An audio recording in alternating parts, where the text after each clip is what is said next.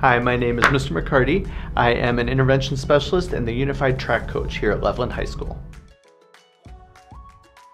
Unified Track is a really awesome sport we have here at Loveland High School, and it is an opportunity for students with uh, disabilities and without to work together as partners.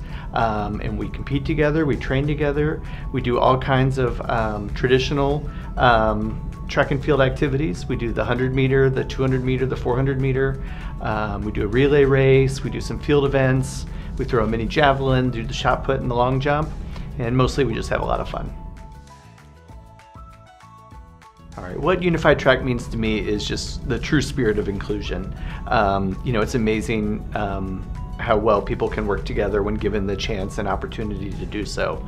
And that's what Unified Track is. It's people with different backgrounds and abilities coming together, working together, um, having fun together, practicing together, and it really just um, demonstrates how important and how easy inclusion can be.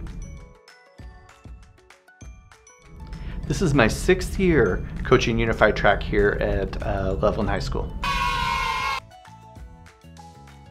Um, I think there's a lot to learn from Unified Track.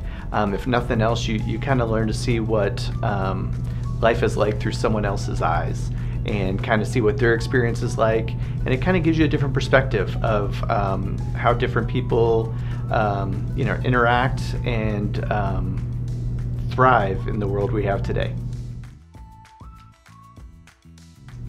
My favorite thing that we do at practice is we end every practice with a game. I think it's important to end on a positive note. Um, you know, we have fun and with some laughs and a good time. And one of my favorite games that we play is called Vegetarian Tiger. Now, why it's called Vegetarian Tiger, I'm not really able to say. One of our former student athletes came up with that a few years ago. It's basically a variation of sharks and minnows, um, except instead of sharks, we have vegetarian tigers.